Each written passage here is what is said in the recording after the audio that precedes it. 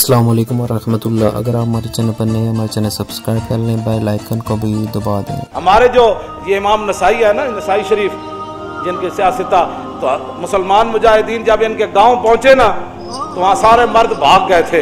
एक मर्द भी नहीं रहा, औरतें ही औरतें थी। जब मुसलमान मुजाहिदीन को पता चला कि यहाँ तो औरतें ही औरतें हैं उन्होंने ये नहीं कहा, ये तो गैरों की औरतें हैं लूट मार करो, कत्ल गारत करो। उन्होंने कहा कि नहीं, औरतों से हमें लड़ने की कोई ज़रूरत नहीं वो उस गाँव को छोड़कर वापस आ गए। कहा कि यहाँ तो औरतें ही औरतें हैं। और तुम क्या कर रहे हो? ये है मुसलमानों का किरदार। और जब आतम ताई की बेटी नंगे सार हजूर के सामने आई तो फिर रसूलुल्लाह ने उनसे कैद होकर आई और फरमाया, क्या चाहती हो? कहा, जी, मैंने आप यहाँ नहीं रहना।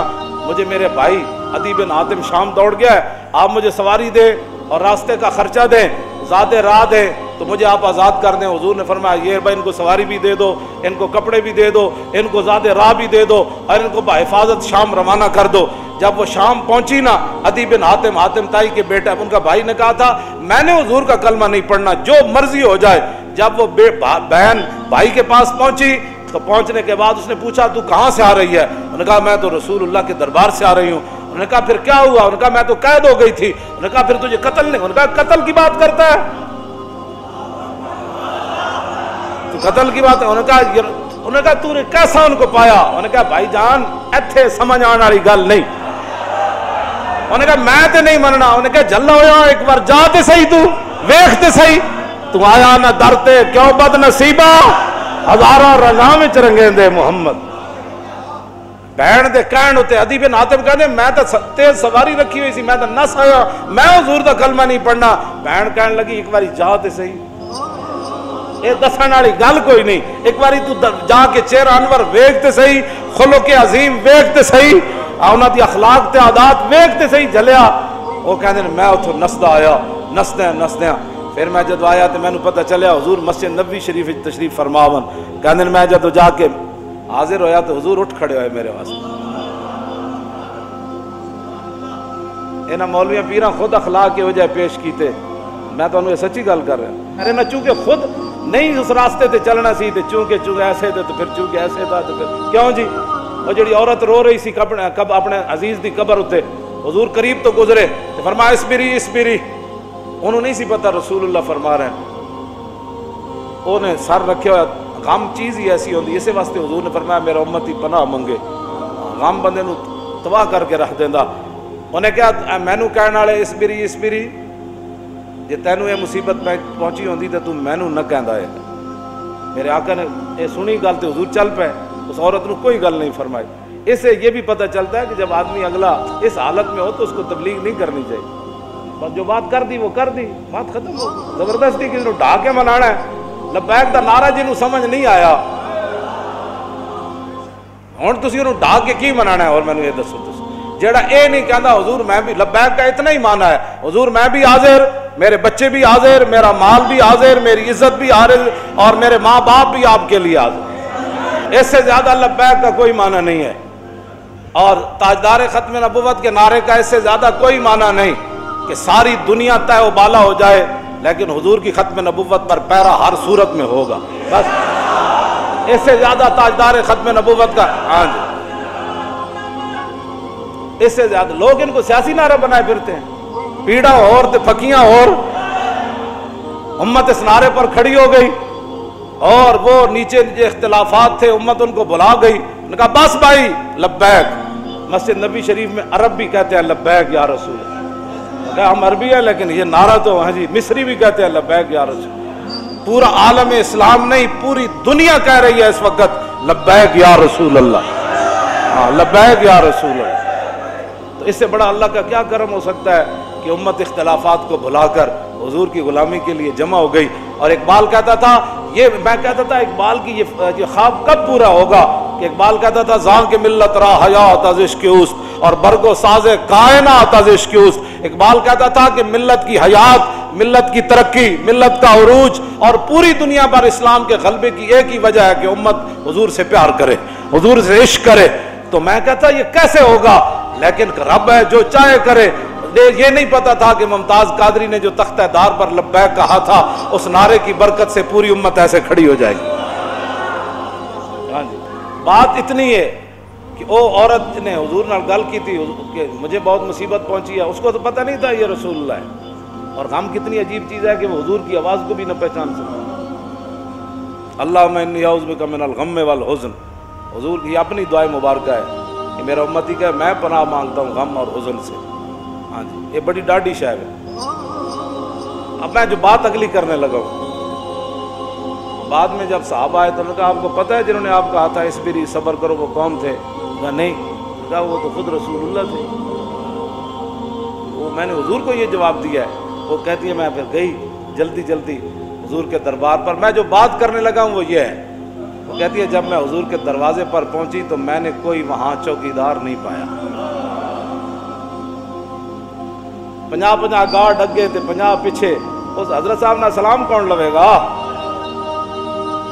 जुतियाँ पवाण वाले होर, जुब्बे पवाण वाले होर ਤੇ ਮੇਕਅਪ ਕਰਨ ਵਾਲੇ ਹੋਰ ਮੈਂ ਤੇ ਨਹੀਂ ਪੜਿਆ ਨਹੀਂ ਜੋ ਉਸ ਵੇ ਹਸਨਾ ਚੱਲਿਆ ਉਹ ਇਸੇ ਵਾਸਤੇ ਤਾਂ ਇੱਕ ਵਾਰੀ ਜਿਹੜਾ ਹਜ਼ਰਤ ਅਦੀ ਬਿਨ ਹਾਤਮ ਆਏ ਨਾ ਤੇ ਜਦੋਂ ਰਸੂਲullah ਨਾਲ ਮੁਲਾਕਾਤ ਹੋਈ ਹਜ਼ੂਰ ਉੱਠ ਖੜੇ ਹੋਏ ਤੇ ਅਦੀ ਬਿਨ ਹਾਤਮ ਕਹਿੰਦੇ ਨੇ ਮੇਰੇ ਦਿਲ ਨੇ ਗਵਾਹੀ ਦਿੱਤੀ ਅੱਲਾ ਦੇ ਰਸੂਲ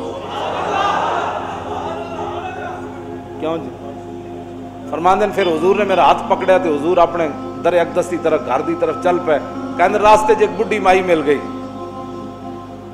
औरतों वैसी गल नहीं मुकदियां ਤੇ ਮਾਈ ਵੀ ਹੋਵੇ ਤੇ ਫਿਰ ਬੁੱਢੀ ਵੀ ਹੋਵੇ ਕਹਿੰਦੇ ਨੇ ਉਹਨੇ ਇਤਨੀ ਲੰਬੀ ਗੁਫ਼ਤਗੂ ਹਜ਼ੂਰ ਨਾਲ ਕੀਤੀ ਤੇ ਹਜ਼ੂਰ ਦੇ ਚਿਹਰੇ ਅਨਵਰ ਤੇ ਵੀ ਨਾਗਵਾਰੀ ਦੇ ਅਸਾਰ ਜ਼ਾਹਿਰ ਨਹੀਂ ਹੋਏ ਕਿ ਮੇਰੇ ਨਾਲ ਮਹਿਮਾਨ ਹੈ ਤੂੰ ਬਸ ਵੀ ਕਰ ਹੁਣ ਕਹਿੰਦੇ ਨੇ ਮੈਂ ਖੜ ਖੜ ਕੇ ਥੱਕ ਗਿਆ ਲੇਕਿਨ ਰਸੂਲullah ਨੇ ਇੱਕ ਵਾਰੀ ਵੀ ਉਸ ਮਾਈ ਨੂੰ ਨਹੀਂ ਫਰਮਾਇਆ ਕਿ ਮਾਈ ਬਸ ਕਰ ਹੋਰ ਕੰਮ ਥੋੜੇ ਕਹਿੰਦੇ ਨੇ ਉਹਨੇ ਆਪਣੀ ਪੂਰੀ ਗੁਫ਼ਤਗੂ ਮੁਕੰਮਲ ਕੀਤੀ ਤੇ ਫਿਰ ਹਜ਼ੂਰ ਚਲੇ ਨਾ ਜਦੋਂ ਕਹਿੰਦੇ ਦੂਸਰੀ ਵਾਰੀ ਮੇਰੇ ਦਿਲ ਨੇ ਗਵਾਹੀ ਦਿੱਤੀ ਹਜ਼ੂਰ ਅੱਲਾ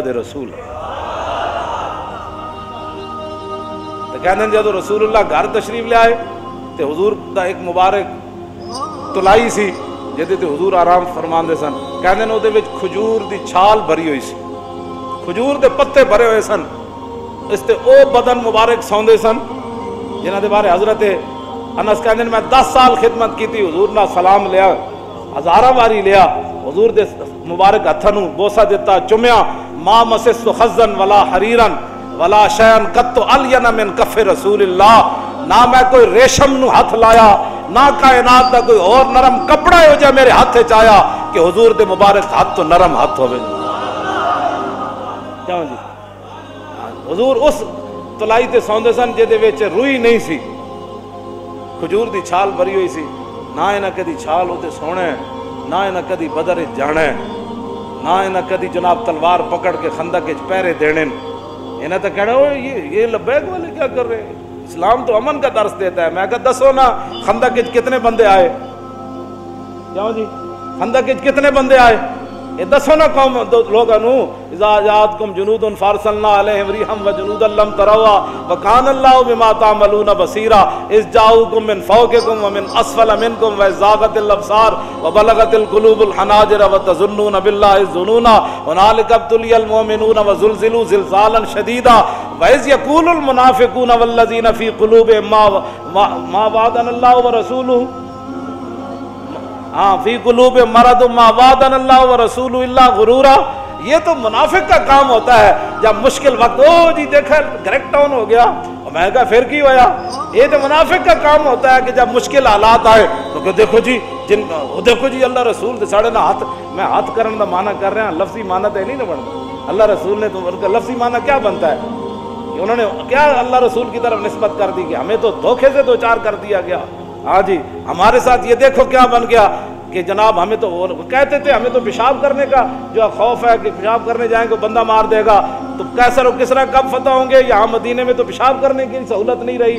पच्चीस हज़ार का लश्कर, मुनाफिक का काम ही ये होता है कि वो जब असहाबा उधर जो है वो क्या कारनामे सर अंजाम और मुनाफिक, उनका भी रब ने कुरान में बयान फरमाया कि मुनाफिक कहने लगे कि माँ बात अल्लाह व रसूल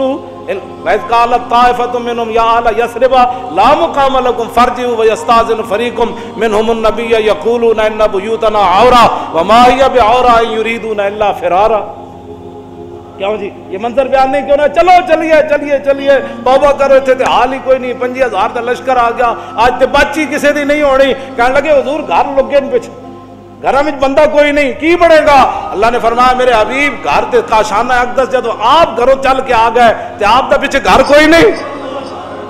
सिद्दीक अकबर का घर कोई नहीं, फारूक आज़म का घर कोई नहीं, उस्मान गनी का घर कोई नहीं, हैदर करार का घर कोई नहीं, इन्हों के घर वखरे आ गए। मेरे हबीब, घर लुके आने का मसला नहीं यूरीदू अल्लाह फिरारा ये तो छा मैदान छड़ के नसन लगे। सानो जी, हमारा लबैक से ताल्लुक नहीं है। मुश्किल टाइम जो आ गया। हाँ जी, मुश्किल टाइम हमारा लबैक से ताल्लुक नहीं, यही तो बात है। लेकिन कुरान इकबाल कहता अगर दरस कुरान हमने बुलाया होता, ये ज़माना न ज़माने ने दिखाया होता। ये मुनाफ्त के काम होते हैं मुश्किल के वक्त। इन्हें दसे ही नहीं कि रसूलुल्लाह गजवा खंदक के मौके पर खुद तलवार पकड़ के किमें खड़े हो। जब पंजी हज़ार का लश्कर खंदक के किनारे आ गया, अमर में नबदे खुद घोड़ा चनाब छाल मराई तो इधर आ गया तो पंजी हज़ार का लश्कर उत्थे आ गया तो सारे चाहते सन के घोड़े समेत इधर आ जान।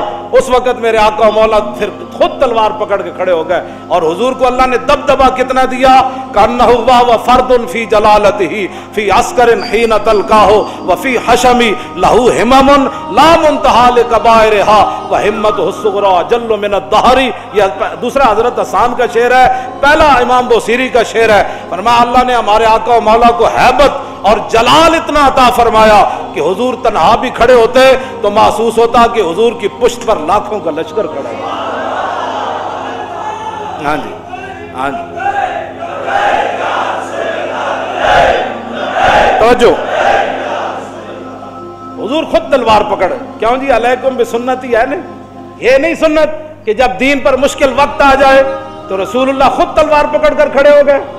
क्या ये इनके लिए सुन्नत नहीं थी कि जब हजूर की खत्म नबूबत पर मुश्किल वक्त आया, हमला हो गया और हजूर की इज़्ज़त पर हमला हो गया तो क्या कौम के रहनुमाओं की, मजहबी रहनुमाओं की, पीरों की, फकीरों की, मौलवियों की ये ज़िम्मेदारी नहीं थी कि खुद मैदान में ऐसे निकल आते? ये है ना, अलैकुम भी सुन्नति व सुन्नत खुलफाई। क्यों जी? अर्राशिदीन और सुन्नत खुलफा क्या है? ये तो हजूर का अपना उस तरीका मुबारक है ना।